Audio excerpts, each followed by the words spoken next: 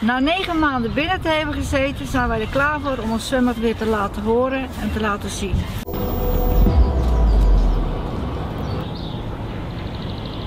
Wij zijn op het mooie zwembad bij Toskeel in Sleeuwijk en wij gaan starten met een route hier in Altena.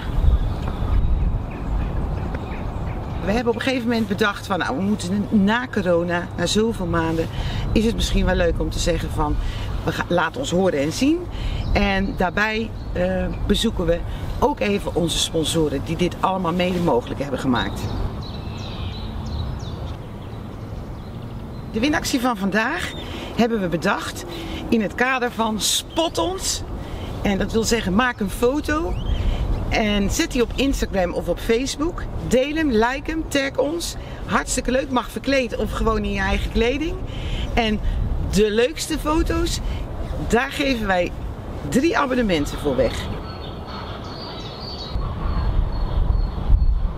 Zijn er nog toekomstplannen voor zwembad Pijterskil? Jazeker. We staan niet stil, want stilstand is achteruit gaan. En wij willen graag vooruit. Dus we proberen het bad stapje bij stapje elk jaar leuker te maken voor mensen in de regio.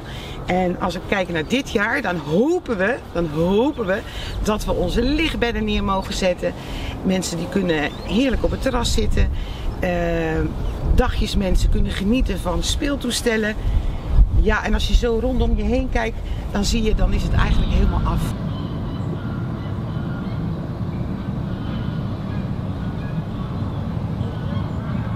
Zou deze route voor herhaling vatbaar kunnen zijn?